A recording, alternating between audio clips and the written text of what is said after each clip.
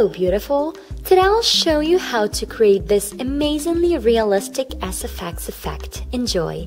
And I begin by choosing the fake nail size. Unfortunately, my nails are quite small so I had to file the fake nail in order to achieve something that resembles my nail shape. Now you can see the difference. Next I cut and split the fake nail in two halves before I move on to the finger part.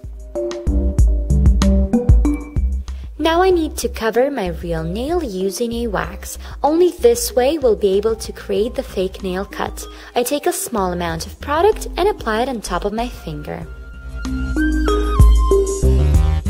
And here is how the finger should look like. Now I will create the under nail damaged skin. To do so, I apply a combination of red and black cream colors on top of my finger like so.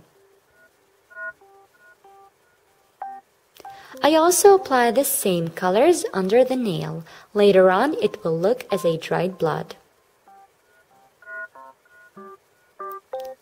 To attach the fake nail to the finger, you can either use nail glue or spirit gum adhesive. I also apply a few drops of fake blood and only then move on to the fake nail. And this is how I apply it.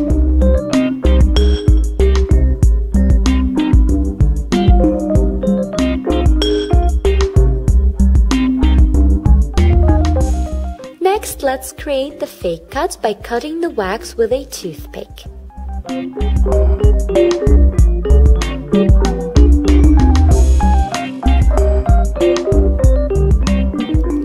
In order to make the fake cut look like real, I again use my cream colors and fill in my wound.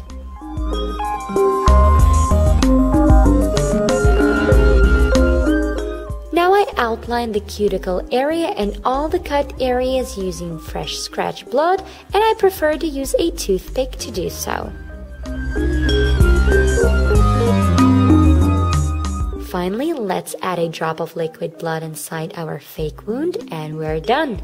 Thank you for watching. I hope you enjoyed this tutorial. All products used are listed in the down bar below. Please let me know what other Halloween inspired tutorials you'd like to see next. Please also support me by subscribing and liking this video. I would really appreciate if you shared this video with your friends too. Thank you and I'll see you soon. Bye.